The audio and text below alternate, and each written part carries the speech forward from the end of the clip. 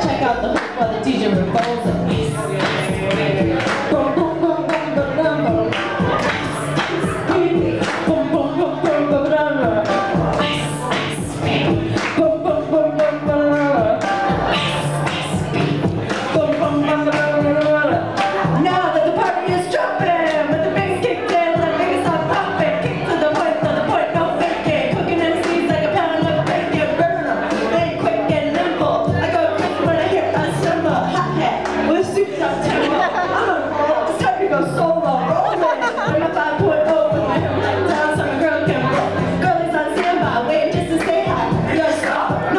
chúng tôi kính chào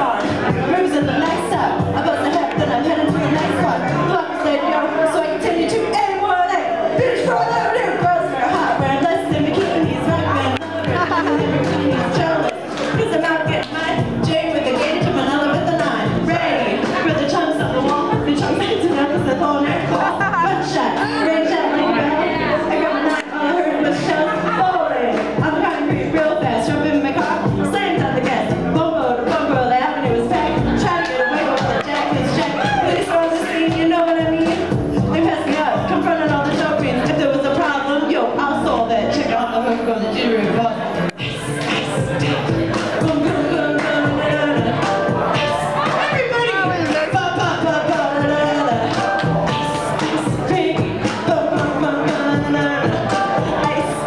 Baby, bum bum bum.